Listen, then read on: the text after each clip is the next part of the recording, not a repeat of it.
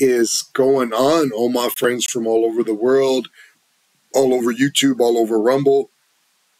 This is Chris, CKHO81. I'm with you guys about to do a reaction to a new remix bro song. This was called Joe Biden's State of the Union 2024 remix featuring DJ T and KDB. So I don't know who DJ T or Katie B. is. I do know the mixed, uh, remix bros. I've heard lots of their stuff and they're absolutely hilarious. So I'm super duper looking forward to reacting to this song. And I have a thing that I like to do for everybody who's new. I like to give my thumbs up at the beginning. That way I know I don't forget. Also, if you guys haven't already subscribed to my channel, once you do, I'll subscribe to you. That way we're all helping each other. And now, without further ado, let's get into this.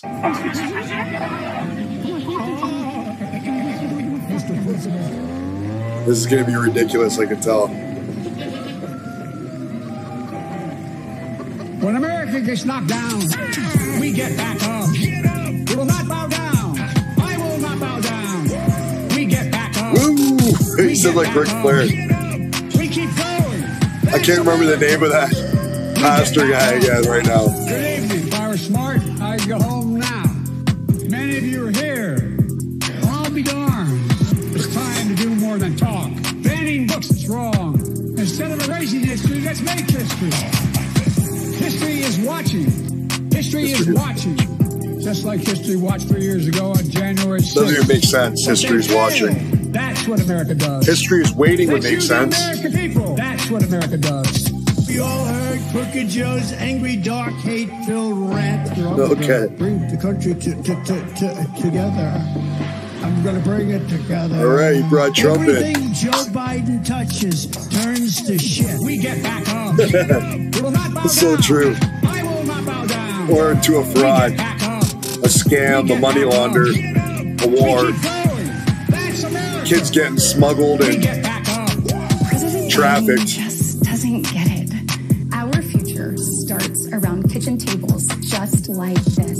Let that Oh, sink man. in. This is the United States of America, and it is past time, in my opinion, that we start acting like it. okay. I'm from. Oh, your that's who word is your Katie B. bond. is. Mr. President, enough is enough.